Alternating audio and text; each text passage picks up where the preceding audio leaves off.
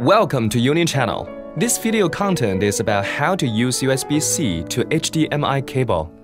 If it's of interest to you, don't miss it. If you feel like you need a bigger screen to watch movies or set up dual monitors for your work, what you need to do is source out your content to another bigger, better screen. You have USB-C connectors in your mobiles, tablets, and some laptops. For monitors and TV screens, you have HDMI connectors. At this time, you will require USB-C to HDMI cable. But what are the exact requirements and exactly how to use USB-C to HDMI? Let's find out. Step 1. Connect the USB-C plug-in to your USB-C devices. Make sure your host device provides video out, which means the USB-C port must supply DP out mode. DP out mode, alternate mode, is a feature in USB Type-C, allowing for transmission of video signal. Step 2.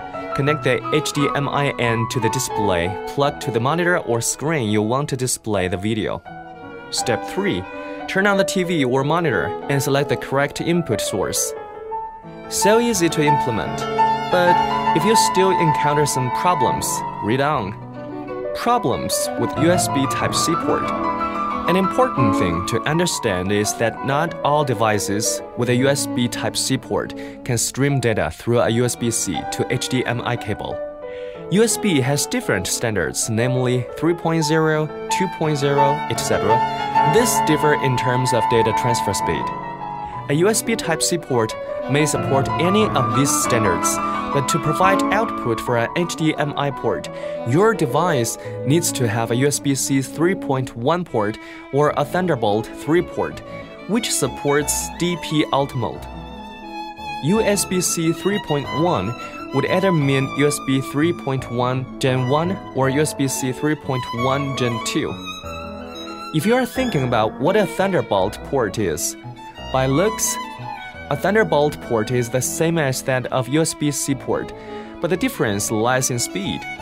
Thunderbolt 3 gives a maximum data transfer speed of 40 Gbps, which is 4 times that of USB-C 3.1.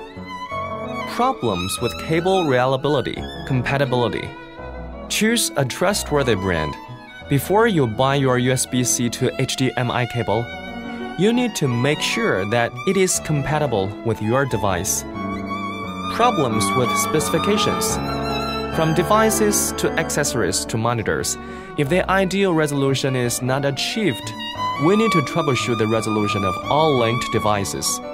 For example, when you choose units for USB-C to HDMI cable, but the actual result is not obtained, it is possible that your device does not support it, or the video source is not originally 4K 60Hz.